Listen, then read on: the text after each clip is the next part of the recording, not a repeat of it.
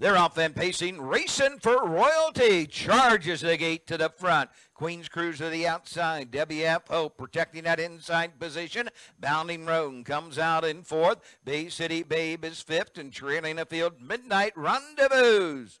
Up the backside, they're going to settle in straight alignment, front to back. Eight leagues separate them. Racin For Royalty and Brandon Bartley by a length. Nose to helmet for Queen's Cruiser. Two back to WF Hope third. Bounding Roan fourth. Bay City Babe fifth. And Midnight Rendezvous trails the field as they step by the opening quarter and 30 and two fifths. Of the turn to the three eighths they go. Racin For Royalty with the lead. Queen's Cruiser is second. WF Hope third. Bounding Roan fourth, racing fifth, and moving to the outside. Midnight Rendezvous and Bay City Babe trails the field, passing the stands, coming on over to the halfway point on top of the field, Racin For Royalty. Queen's Cruiser is second. Midnight Rendezvous on the outside third. WF Hope locked in fourth. Bounding Roan fifth. Bay City Babe trails the field at the half in 103 to the 5 eighths they go. Racin For Royalty has the lead.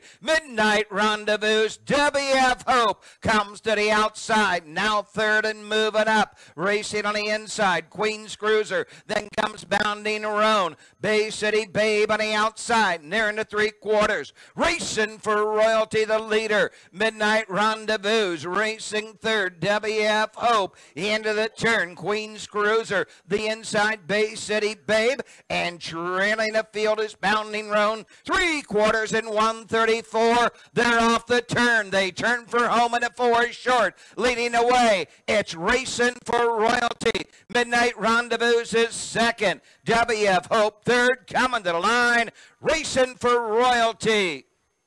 Home second, Midnight Rendezvous, late closing. Bay City Babe.